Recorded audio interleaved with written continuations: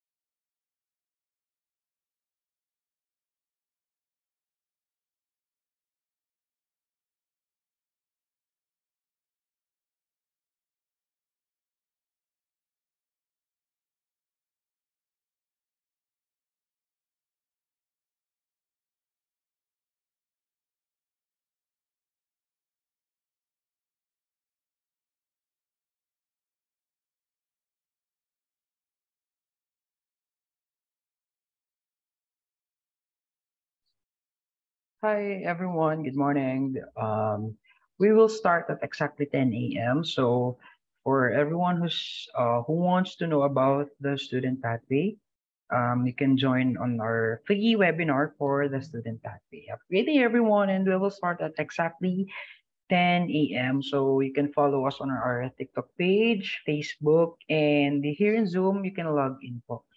So when uh, in Facebook and in uh, in Facebook and in Zoom, uh, you can see the slide. However, in TikTok, currently hindi pa namin na uh, papakita yung slides from the TikTok. However, for our next webinar, um, makikita na din ng mga viewers from TikTok po yung aming free webinar for the student pathway. So, and uh, we will start at exactly 10 a.m. everyone. Thank you so much. Have a great day.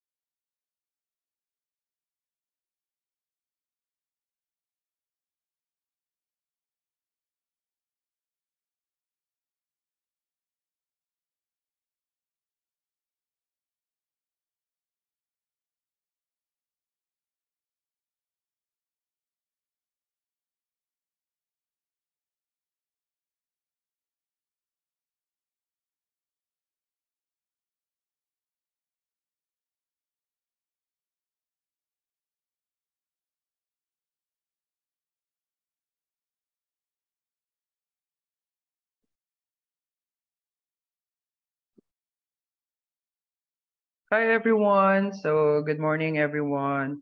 And um, good morning sa platform from Facebook, TikTok, and Zoom. So, we will start our live about the student pathway.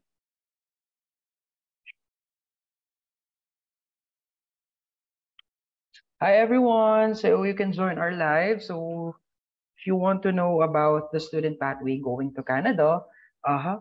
Um, you can watch our live here in Facebook, uh, TikTok, and Zoom. Hello, sige. I'll start our presentation about the student pathway. So, here in TikTok pala, uh, hindi nyo makikita yung slide. However, if you're watching from Facebook or Zoom, um, that's the time na makikita nyo si um, slides po namin. So I'll start our presentation about the student pathway. So for the student pathway, to give you an idea for all the viewers here, um, uh, that's the fastest pathway going to Canada. So it could uh, maybe the average processing time could take at least one to three months or one to six months, um, depending on your um, requirements. So let me start. So for all the viewers, you can um, ask questions. You can uh, post through our chat box here in TikTok, Facebook, and Zoom. So first, um, to give you an idea, we are registered Canadian immigration firm in British Columbia, in Canada, and you can always search Canada Business Registry to know our legitimacy, okay?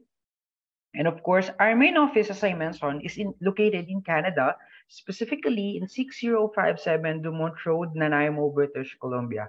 But here in the Philippines, our satellite office is located at City Sleep Inn Hotel and Event Center, JP Laurel Highway, Barangay Sico, Lipa City, here in Batangas po. So for our local viewers, if you're in the Philippines right now, you can always visit our office, as I mentioned, here in Lipa City. So we're open from Monday to Friday, 8 a.m. to 5 p.m. everyone.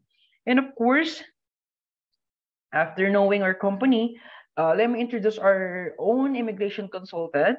His name is Mr. Israel Roman, and his license identification number is R524540.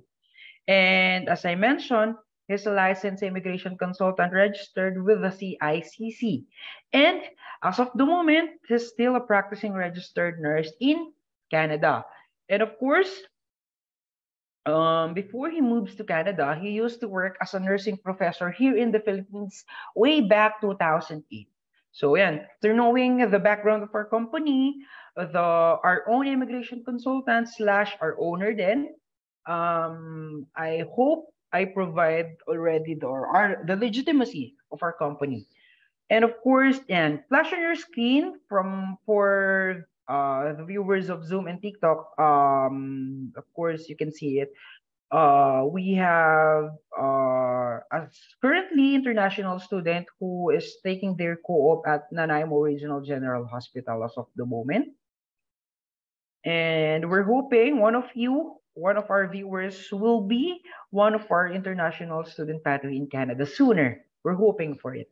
And of course, and I know we have many reasons why we want to choose Canada as our destination. Of course, number one reason is Canada is the home of the world's top academic institution and universities. Number two is you can gain work experience setting them up for a promising future. I know our goal is to give our family the best future for us, right? And of course, after completing your studies, you can work, work and may be eligible to apply for a permanent residency. And I know that's our main goal, to become a permanent resident in Canada. And ayun, after knowing all the reasons why you need to choose Canada, I hope na one day, um, if not student pathway, um, you will be uh, going to Canada as a worker and uh, become a permanent resident resident. And of course, in Canada, for the student pathway specifically, we have three different intakes. The first intake, we have the fall intake and start on September. We have the winter intake starts on January. And we have the summer intake and that's the May intake po. So if you want to become an international student in Canada, of course, you need to choose what intake po tayo papasok in Canada. And after knowing the intakes, of course, you need to choose your school and program. After knowing the intake, the first thing is we need to look for a school and program in Canada. And of course, we have a VIP school partners po in Canada. But don't you worry, if ever yung school na napili po natin is hindi namin partner, we can still assist you po. Wala naman po magiging problem on that matter po. And of course, the first school is we have the Stenberg College. We have the Georgian College, Pancho College, Coast Mountain College, Niagara College, Durham College, Humber College, Okanagan College, Centennial College, Saskatchewan Polytechnic, Sheridan, and Selkirk College po. And of course, as I mentioned a while ago, if ever na yung napili po nating school is not our VIP school partner, wala naman po magiging problema. Kasi we can still communicate kung saan mang school kayo uh, or kung saan mang school yung napili nyo going to Canada po. And of course, uh, I know uh, most of the viewers here are already familiar with the IELTS or International English Language Testing System. So Roman Canadian Immigration Services is proudly, uh, we are proudly partner with 9.09er IELTS Review and Tutorial Center and with the British Council. And as I mentioned a while ago, we are located here at Lipa City, Batangas, and we are the official test center here in Lipa City, Batangas. So for sa mga viewers namin here in the Philippines na mas malapit kayo here in Batangas and you want to take uh, your exam here in our office, uh, we are open for computer based. We are open from Friday to Sunday. And for the paper based, uh, uh, for the computer based, it's open from Monday to Sunday every day or every every month eh, kung ano man kayo uh, convenient sa inyo mag-take.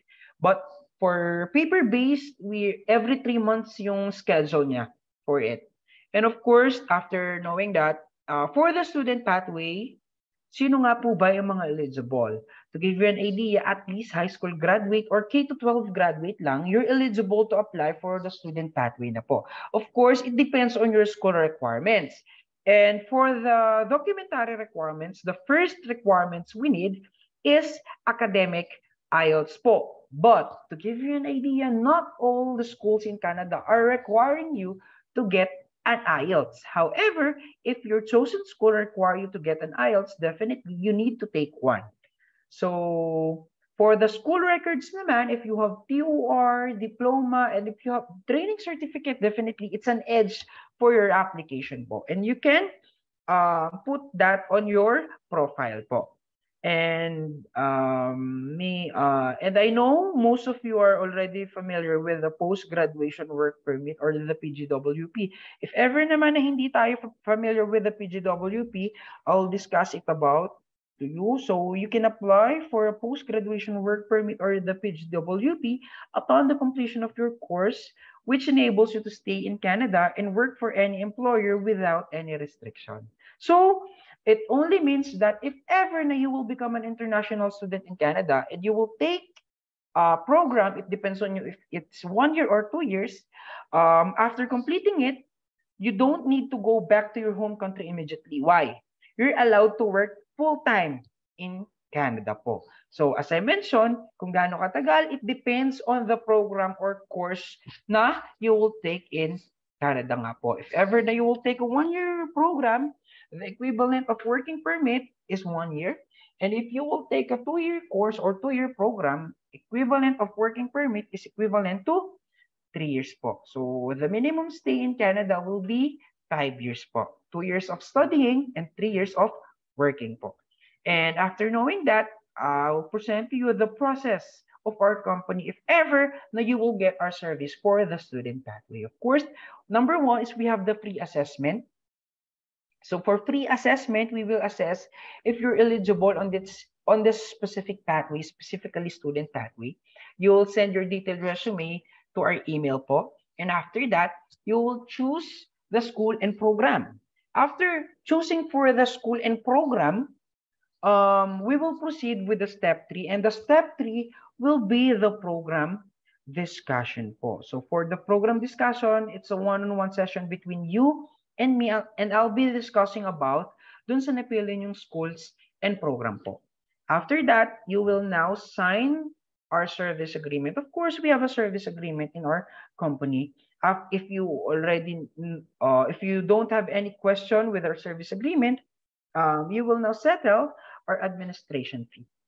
And after settling that, you will submit the required documents to your chosen school. Of course, uh, sa mga school na napili natin, meron silang required documents na kailangan natin i-comply po. So definitely, we need to comply it para maka uh, makapag-enroll tayo on that specific school po. So before proceeding with uh, step 7 and other steps, um, if you have any questions or clarifications po, um, you can type it on our Facebook, on our Zoom, or our TikTok. So I can answer it after my discussion po. So if you have any question po, you can comment it na po. And of course, after the step six, we are we will proceed with the step seven, and that's the issuance of offer letter from the school. What's offer letter? So offer letter from the school, technically it's indicating your course, your program, what intake, and your tuition fee, and how to settle your tuition fee. Of course, yes po, you need to settle your tuition fee muna sa school na napili nyo before entering sa kanilang uh, campus, of course. And after you settle the tuition fee, to give you an idea, some schools in Canada is requiring you at least you pay the down payment.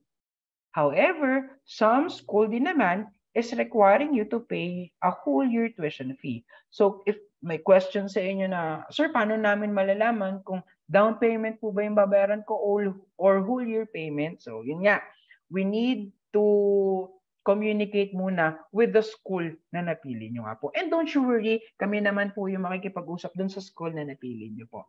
And after that, step 9, that's the issuance of letter of acceptance from the school. After you settle the tuition fee and complying all the documents necessary na kailangan ni school, si school na napili nyo will be giving you the letter of acceptance. It means that uh, you're already um, enrolled or accepted to, the university na napili nyo po in Canada po. And of course, and step 10 is the collation of immigration documents. So after the collation of immigration documents, as I mentioned, here in Roman Canadian Immigration Services, you don't need to worry about anything. Uh, we will assist you sa mga forms na kailangan nyo pong i-fill out sa amin. And after that, we will collate it from you. After collating your immigration documents po, um, for the step 11, you will settle our service fee.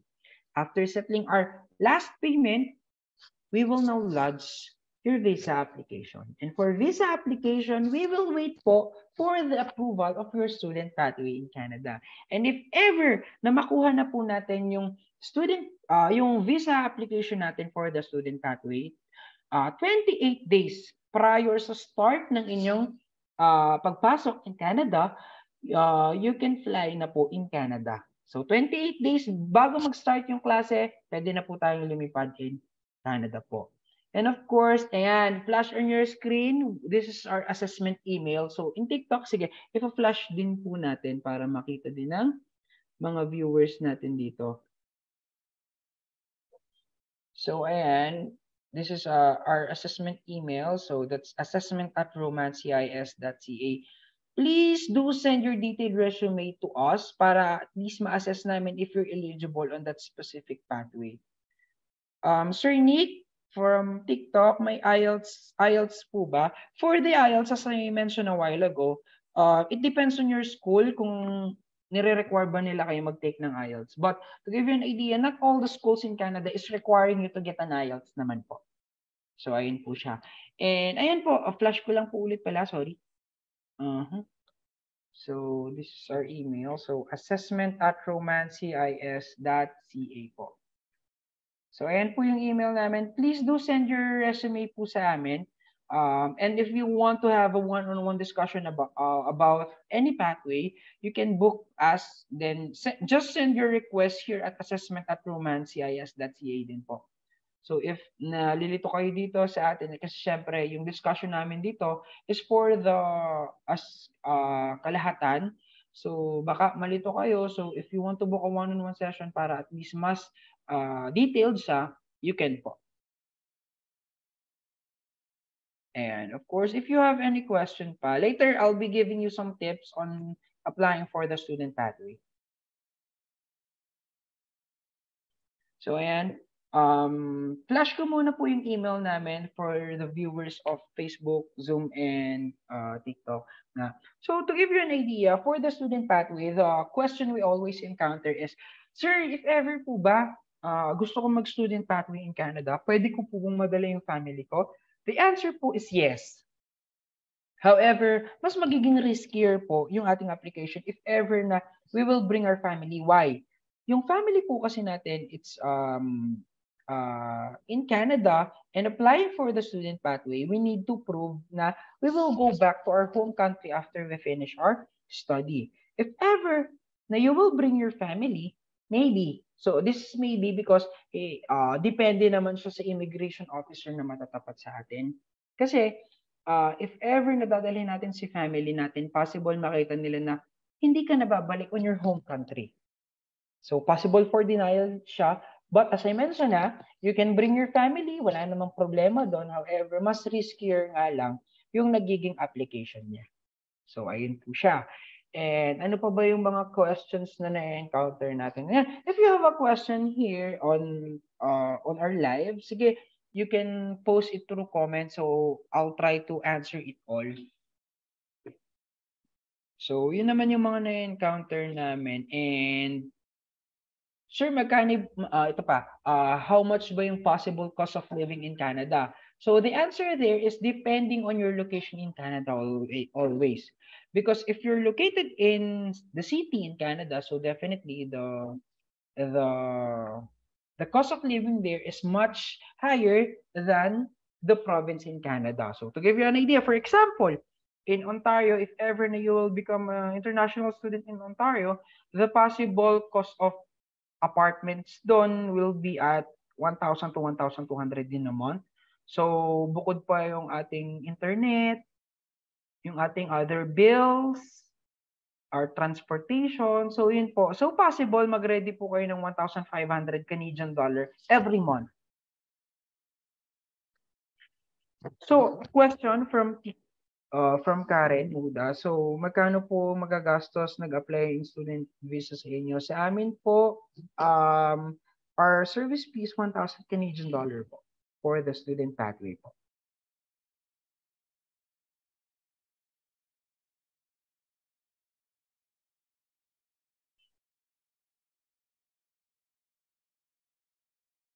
Any question po po? from here, here in TikTok. And to give you an idea, ito, um, here in Roman and Associates Immigration Services, not just the student pathway yung uh, pinoprocess namin. We are processing uh, any type of uh, visa going to Canada.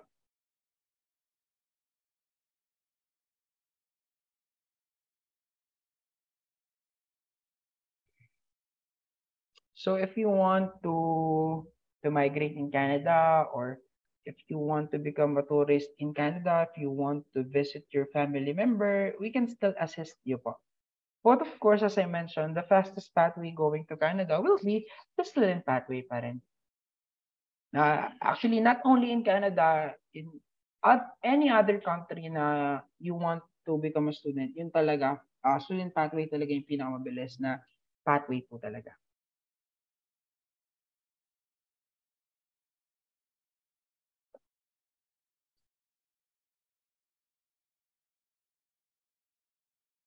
Any question pa po from our viewers po?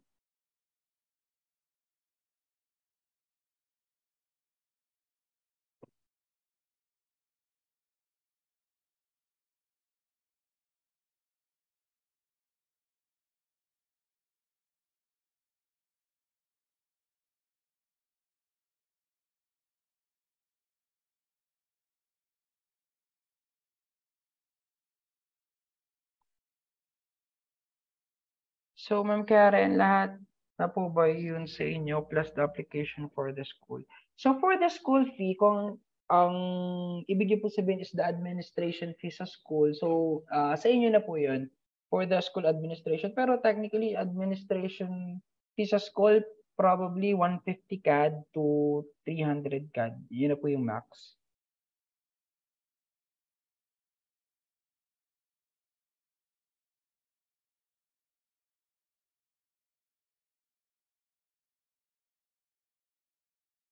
Hi po, strict po ba ang IO sa Canada if papasok ang student sa country nila? Ano po ina-ask nila?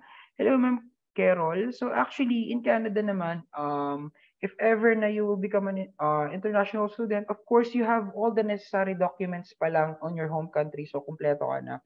uh, ipe-present mo lang naman yon and uh, yung mga questions siguro nila once na nandun ka na, um, tatanungin nila yung uh, kung ano yung program mo, ano yung uh, ilang years yung iti-take mo, mga ganun lang. Pero you have all the necessary documents na. So you don't need to worry naman na po. Kasi yun nga, for example, nasa Philippines ka or kung nasang country ka man, if ever um, kumpleto ka naman ng documents. So, kumbaga, may supporting documents ka naman dyan. So, uh, pag nandun ka naman na, uh, pa-present mo lang yung mga documents na kailangan mo, ma'am, and wala naman na silang um, masasabi dun dahil, well, document, documented naman ikaw.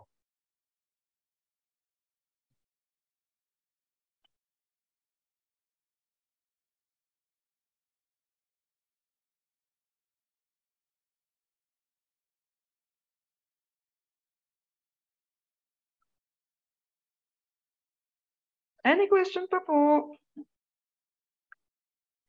So, I'll stay here at least uh, 10.30 if you don't have any questions. Sige, we will end our live na doon. So, ayun. Um, next live namin will be on 24. I think it's on Monday or uh, sige, uh, we will post it na lang on our Facebook pala yung um, specific time and date nung aming next webinar po. And of course, yan, you can follow us on our Facebook page. We are Roman Canadian Immigration Services. In TikTok, yan, sa mga viewers namin dito, please follow us para at least uh, meron kaming any updates on our company, uh, malalaman nyo din po.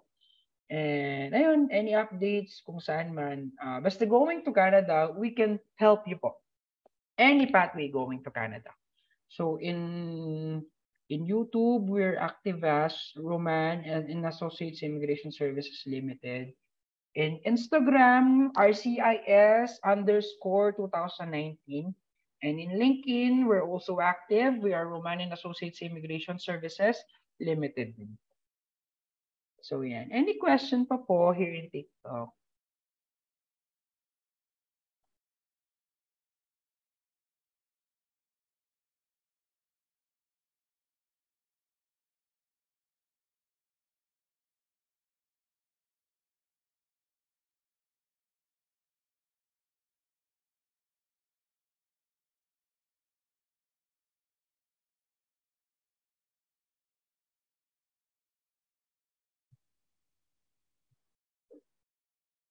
Please do follow us para at least updated po kayo sa mga happenings and uh, e mga events namin here in our company. Mm, para if ever na you'll be interested in kung ano mang pathway po yan, we can help you po. And you can always check the legitimacy of our company. Posted naman dito sa mga videos namin sa TikTok on how to search our our immigration consultant. So yun, yeah, you can do it or you can search on your own or do it your own muna. And, yeah. Mm-hmm. Any question pa po? If we don't have, um, we will end our live na din.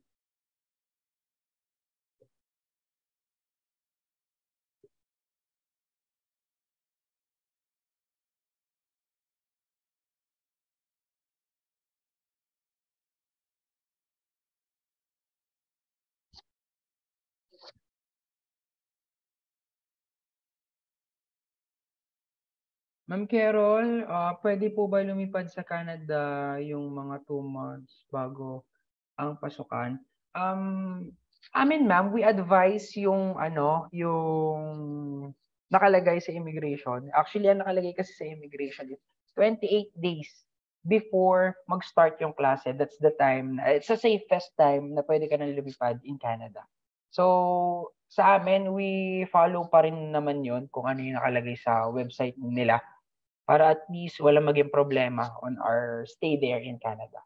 So yun, 28 days before mag-start yung klase mo, ayun, safest time siya para lumipad in Canada po.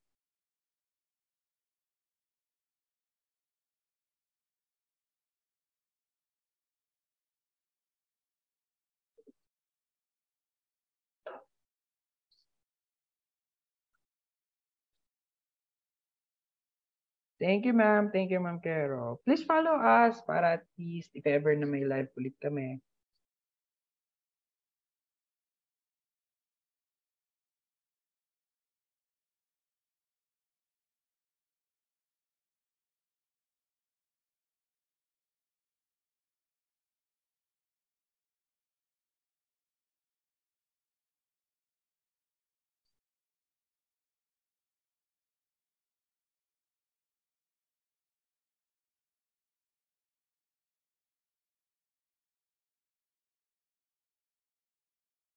So ayan, I think, ayan, sir, ano po, job vacancy nyo. Uh, for Norman Selemin. Sir, ito, uh, send na lang kayo ng, um, ng resume niyo sa amin para mapakita namin sa inyo kung ano nga ba yung mga possible job opportunities namin based on your credential, of course. Sige po, ayan po, assessment at romancis.ca po. Please do send your updated resume po sa amin and if ever na you're um, you're eligible on that specific pathway or job vacancy, I'll be calling you po.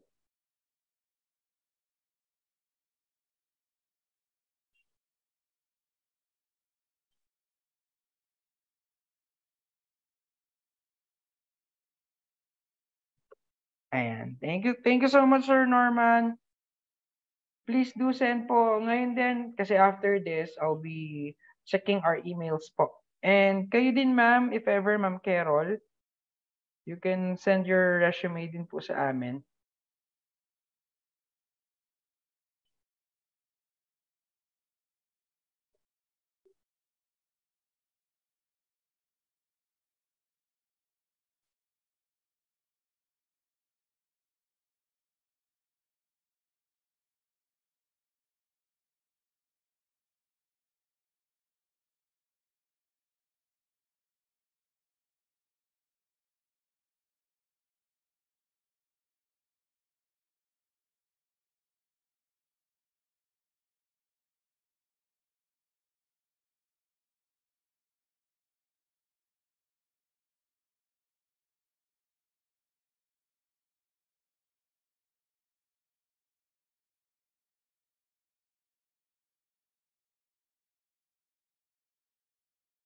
Ayan, so we will end our live na this and yan please do send your resume nga po sa amin.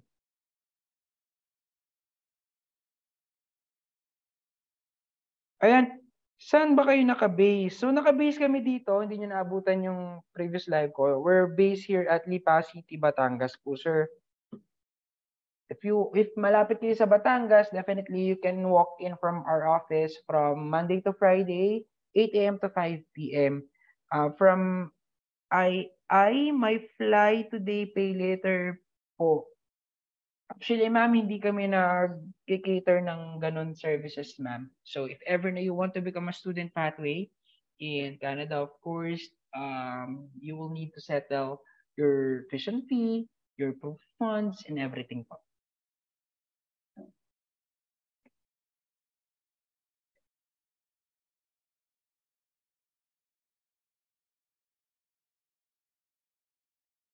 Um, Sir Norm Norman, naka-base po kami dito sa Lipa City, Batangas. Uh, Lipa City, Batangas po. If familiar po kayo.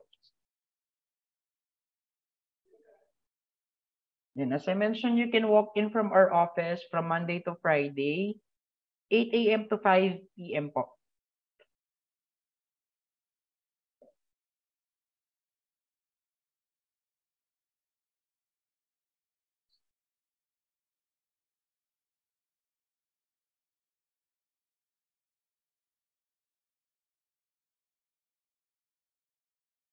Ayan, so I, um, thank you so much everyone for tuning in on our free webinar for the student pathway. And I hope to see you again for our next webinar po. And I hope na one of you, one of our viewers will become an international student in Canada po. And I'm hoping na ayan, mag-success po tayo sa lahat sa lahat ng careers po natin, lalo-lalo na if ever you will be flying to Canada po. So have a great day everyone and thank you so much po on behalf of Roman Canadian Immigration Services. Thank you everyone.